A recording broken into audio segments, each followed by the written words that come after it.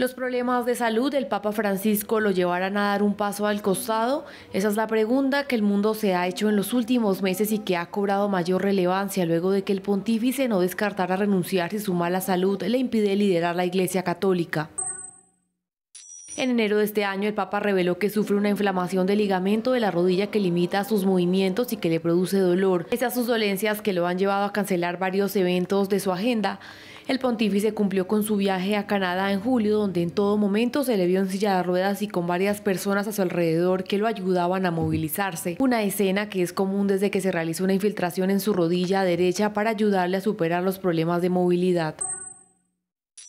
Sin embargo, el nombramiento de 20 nuevos cardenales, 16 de ellos con derecho a votar en el conclave para la elección del próximo papa, avivaron los rumores de su posible renuncia.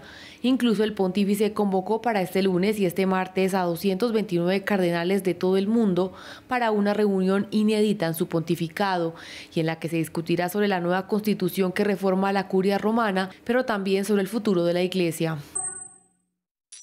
La visita del Papa este domingo a la tumba de Celestino V, el primer pontífice que renunció el mismo año de su elección en 1294 cuando tenía 80 años, también hizo encender las alarmas.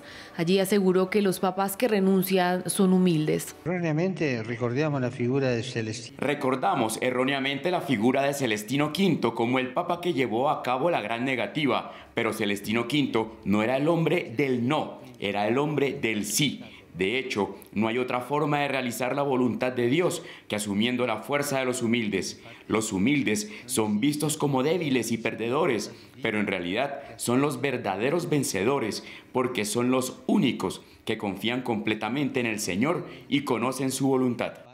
La abdicación más reciente en la historia de la Iglesia Católica es la de Benedicto XVI en 2013, convirtiéndose en el primer pontífice en aproximadamente 600 años en renunciar voluntariamente.